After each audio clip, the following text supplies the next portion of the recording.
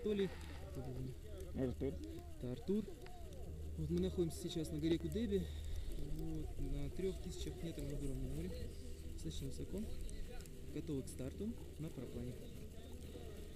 Вот. Сейчас Артур немножко пробежится. Чуть-чуть. Вот. Самую малость. Вон туда. Будет бежать. Ну, да. Вернул лыжу левую. Мы готовы. Стартуем. Готов?